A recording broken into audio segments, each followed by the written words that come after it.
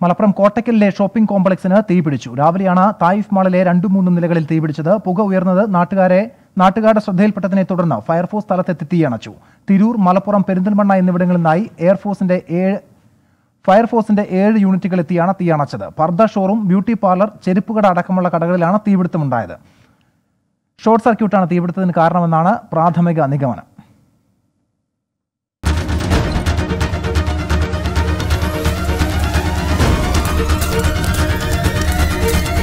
twenty four രണ്ട് വർഷത്തിന്റെ നിറവിൽ